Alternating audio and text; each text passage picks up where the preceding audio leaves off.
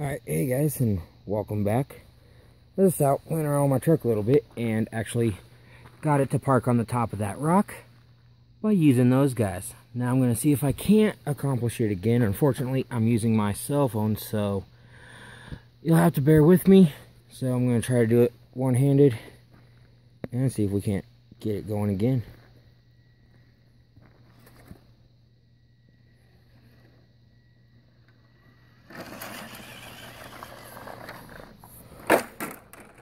Well, as you saw, it went a lot easier, but that was with one hand. I don't have my camera, I'm just using my cell phone.